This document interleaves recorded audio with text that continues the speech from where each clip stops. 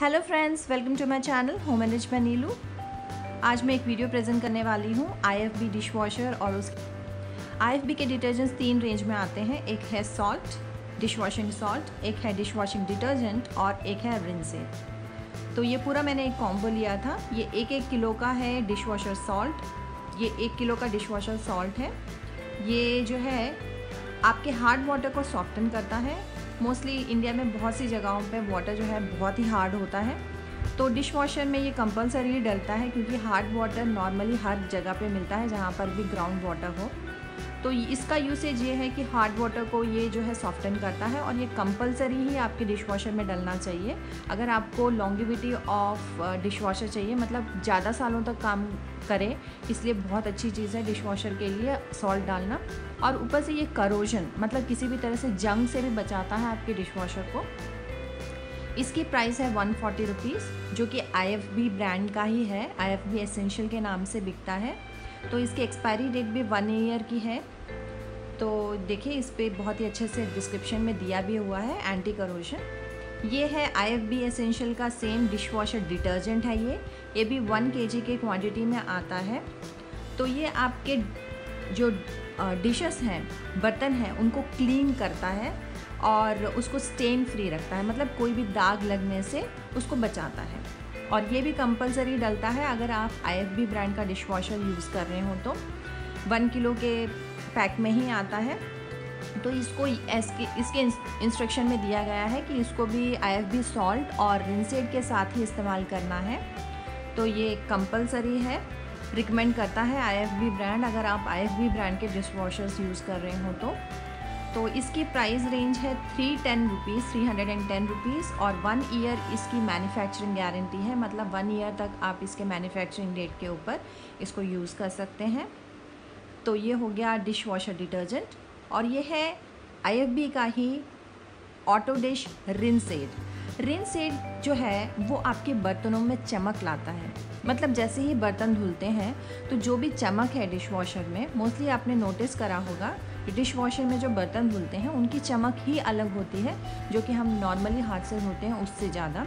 तो that is because of this रिन से तो इसकी प्राइस है वन फोर्टी रुपीज़ और इसकी क्वांटिटी है टू हंड्रेड एम तो ये तीनों कंपलसरी हैं अगर आप डिश वॉशर यूज़ कर रहे हो तो। आ, ये देखते हैं डिटर्जेंट किस तरह का अपेयरेंस करता है। डिटर्जेंट जो है ये वाइट कलर में होता है और जैसे मैंने कहा ये वन के की क्वांटिटी में आता है और अप्रॉक्सीमेटली एक वॉश के लिए आपको एक टे एक से डेढ़ टेबल स्पून तक डिश वॉशर डिटर्जेंट लग जाता है। डिपेंड्स कि आपकी वॉशिंग क्वांटिटी कितनी है? और ये है डिश वॉशिंग सॉल्ट ये सॉल्ट जो है इसकी एक बहुत ही डिफरेंट क्वालिटी है आई की डिश वॉशर डिटर्जेंट की कि ये पिंक कलर में होता है. और बाकी के आप कोई भी डिश वॉशर डिटर्जेंट्स परचेज़ करें, जो कि सॉल्ट परचेज़ करें, वो पिंक कलर के नहीं होते हैं. तो ये मैं सॉल्ट जो है लोड कर रही हूँ. अपने एक टाइम में पूरा वन किलो का सॉल्ट ऐड कर देना है. जो भी कंटेनर है, जिसमें हम लोग सॉल्ट ऐड करते हैं तो डिश वॉशर के साथ आपको फनल भी फ्री में मिलता है। तो उसके थ्रू आप यूज़ करके dishwasher salt completely one K G आपको एक टाइम में पूरा का पूरा उस कंटेनर में और उस स्लॉट में डाल देना है। तो इसमें मैं नहीं बता रही हूँ, पर आप को उस कंटेनर में वाटर भी फिल करना है, तब तक जब तक कि वो वाटर ओवरफ्लो नहीं हो जाता। तो ये सॉल्ट हमने पूरी तरह से उस कंटेनर में फिल कर दिया है। पूरा वन किलो कम्प्लीटली आ जाता है एक टाइम के लिए। तो आपको मेक श्योर sure करना है कि जब भी आप सॉल्ट ऐड ऐड करें तो कम्प्लीटली जो है एक डब्बा मतलब एक किलो का सॉल्ट पूरी तरह से डिश वॉशर में डाल दें। तो फनल के हेल्प से आप उसको अच्छे से सेट कर दीजिए। देखिए ये पिंक कलर का है। तो ये जो है आपको हार्ड वाटर जो भी है आपके डिश वॉशर में, जो भी आपके घर पे आता है हार्ड वाटर तो उसको वो सॉफ्टन करेगा और वाटर क्वालिटी को इम्प्रूव करेगा। ये जो डिश वॉशर सॉल्ट है, देखिए ये पिंक कलर का है। तो इस तरह से हमने पूरी तरह से डिश वॉशर सॉल्ट जो है अपने डिश वॉशर में डाल दिया है।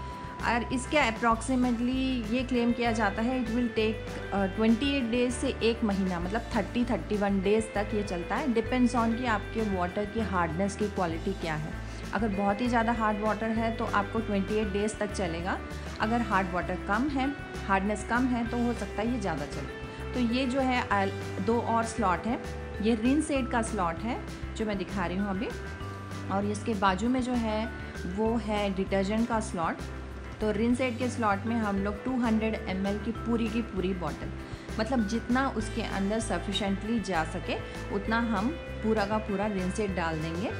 और कब, जब मैंने रिंसेट डाला था, ये वीडियो मैंने नहीं निकाला है, पर रिंसेट मैंने जब पूरा का पूरा बॉटल एमटी किया था तो मैंने देखा था अराउंड 50 एम या 20-30 एम के करीब जो है रिंसेट बच गया था और उससे पहले ही वो कंटेनर ओवरफ्लो हो गया था। तो अब मैं दिखा रही हूँ कि डिटर्जेंट हमें कहाँ ऐड करना है। ये वही स्लॉट है जहाँ पर हम लोग टैबलेट भी डालेंगे इन केस अगर आप डिटर्जेंट और रिंसेड नहीं यूज़ कर रहे हैं सॉल्ट तो इस तरह से हमने डिटर्जेंट डाल देना है around one two one and half tablespoon. तो ये है। Thank you so much for watching my video.